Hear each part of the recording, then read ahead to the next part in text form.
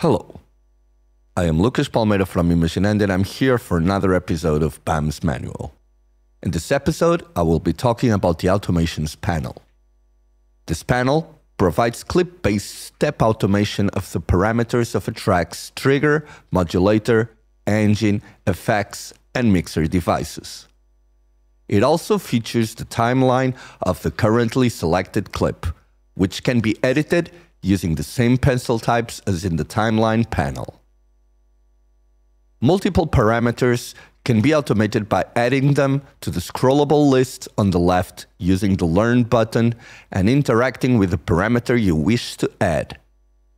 Conversely, you can remove parameters from the list by selecting them and then clicking the trash icon next to Learn.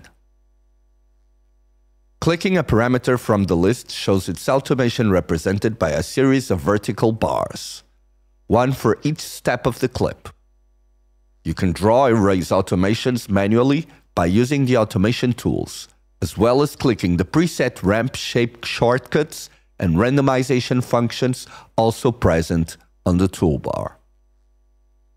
Automated steps appear brighter in color, with non-automated steps shaded darker. Using the Erase tool resets a step's automation and thus returns it to the darker color. I will now make a description of the tools available in this panel. Select Notes Pencil type. Pencils work the same as on the timeline panel, but only to write notes. You can check this by clicking now on the link on the top right corner of the screen. Select Automation Tool type. This first icon represents Write Automation, where you can write automation value bar on the corresponding step. Second, create probability range. With this tool, you can create a range value of a parameter from which a value will be randomly chosen. And finally, erase, where you can delete the step automation. Next, we have mirror automation horizontally, create up ramp automation, create up and down automation, create down and up automation, and create random automation. I will not address the clip page and loop functionalities since you can check them out on the timeline video being linked now on the top right corner of the screen. So next we have automation parameter list, learn and add parameter to an automation list, and finally delete parameter from automation list. I am now going to talk on how to automate a parameter. Parameter automation is handled at clip level. That is, each clip has its own unique set of automated parameters. The list of parameters that are automated for each clip is shown in the automation parameter list on the left of the automations panel. As you can see here, if I change the clip in the matrix panel, the parameter default value changes with the selected clip. Parameter values have three layers of handling. The project parameter default value for all the project, no automation. The clip lock value added to the automations list, and it is the value for the whole clip. And the step lock value, which is the value for a single step.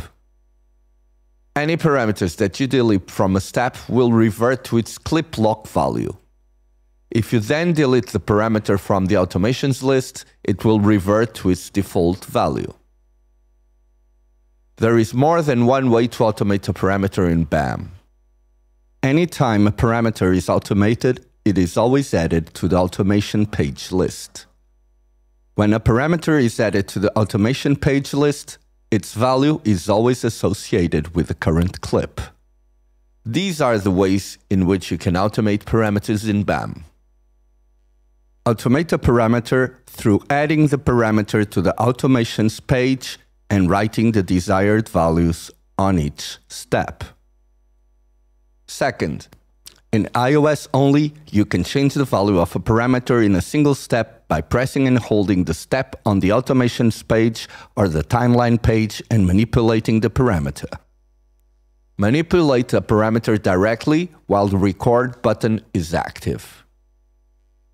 When recording is active, parameters can be recorded in two different ways. Right to the record button, there is a recording mode button that toggles between latch or touch parameter recording. On latch recording, when you are recording a parameter, it will continuously overwrite the parameter's value as long as the recording is active. While the touch recording will only overwrite the parameter's value as long as the parameter is being manipulated. Finally, Holding the Shift key and manipulating a parameter will change the value of that parameter for the whole clip. Whenever a parameter is either automated or modulated, you can confirm its activity by a small dot moving around the parameters knob, showing the automated or modulated new value. If a parameter control is manipulated directly while it's being stepped automated, this will bypass its automation and the icon near the record button, the re-enable automation button, will light red, showing that the automations have been bypassed. By pressing this icon, BAM will return automations to normal. Finally, you can access some different functions for some tools by using them with the Shift button pressed, which is on the bottom right corner of the app. These functions are as a parameter to clip automations when pressing it, shift between pencil and eraser on the automation tool type, and selection of loop zone when it is active. This is it for the automations panel. I hope that you will join me on the next video tutorial.